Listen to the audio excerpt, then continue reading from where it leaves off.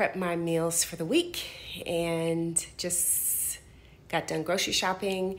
So here's my tip about grocery shopping. Don't go to the grocery store without a list.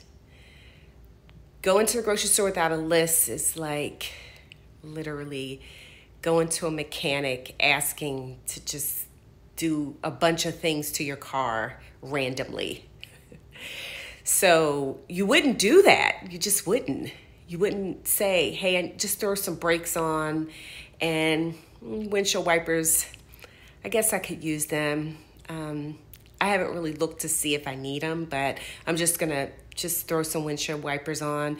And while you're at it, the tires, I know you have a sale on tires, so just go ahead and throw some tires on. $6,000 later, here you are with a bunch of shit that you don't need. Grocery lists before you shop.